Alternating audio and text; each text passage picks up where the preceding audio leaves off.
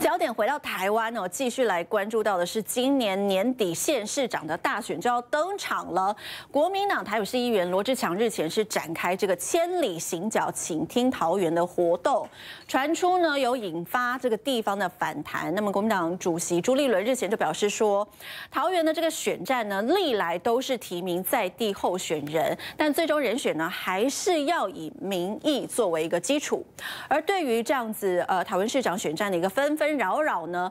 罗志强他今天是引用了圣经里头的一段话来自我勉励。他说呢，呃，在脸书上面 po 文了。他说，每当呢遇到这个红组，我总会想起一段圣经。不但如此呢，就是在患难中也是欢欢喜喜的，因为知道患难生忍耐，忍耐生老练，老练生盼望。风雨有时，但在桃园走过的每一步呢，都欢喜。那么看到罗志强的脸书 po 文之后呢，网友也给他鼓气、鼓励哦，打气，说呢，我们都挺你，希望你可以协调出这个最强人选。还有人说呢，最孤独的罗志强也是国民党重生的一个希望。关于罗志强呢，还有一个话题哦，他之前呢好像不小心写错字了。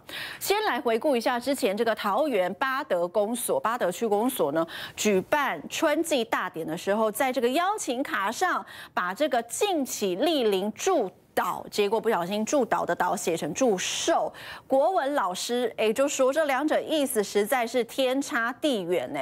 祝导写成祝寿，这样子实在是让人笑掉大牙了。那么桃园八德区公所呢，把这两个字弄错了，被批评说连最基本的祝导祝寿都搞不清楚吗？那么公所就坦诚说啊，这个校正的过程有疏失啦，承办人员已经自请处分了。对此，桃园市长郑文灿则是说啊，大家忙中有错。错了，不该苛责。至于罗志强呢，因为他不小心把这个新屋的屋写错，是房屋的屋，他写成乌鸦的乌。这个郑文灿呢，则是要求他到这个写什么呃罚错，罚他写错，希望他呃改错。所以呢，罗志祥就来到了这个桃园市政府前，罚写新屋写一千遍。他说要表达对郑文灿的感谢之意，所以呢，一写就写了两个小时。一起来看。新屋啊，写错了。新屋是呃屋是房屋的屋，那我写成乌鸦的乌。那当然郑市长这么说，因为我对郑市长很尊重哈，所以因此我花了两个小时，把我这个半个月内所有的脸书贴文啊，好好的检视了一遍。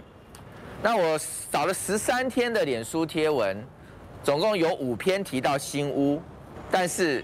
完全都是正确的，没有写错字，挑错字哈。这个郑老师关心，我很感谢了哈。但是新屋人的心声，也希望郑老师能够了解。我也在呃桃园千里行当中也走了新屋，那也有新屋的朋友跟我反映了很多的事情，包括说永安渔港啊的一些呃污染的问题，包括海螺馆它的停车的问题。也包括说，我走在观音新屋的时候，刚好接到国家级的空屋警报，那空屋变成了这个桃园人、观音人、新屋人的日常，这些心声都是我在走路的时候有民众向我反映的。那我在脸书上已经写了，也希望郑市长哈能够。呃，回应一下这些人民的心声。主席，你会觉得桃园市长提名的党内民调应该要纳入罗志强吗？现在地方人士觉得说他好像是空降，希望你可以亲自去协调。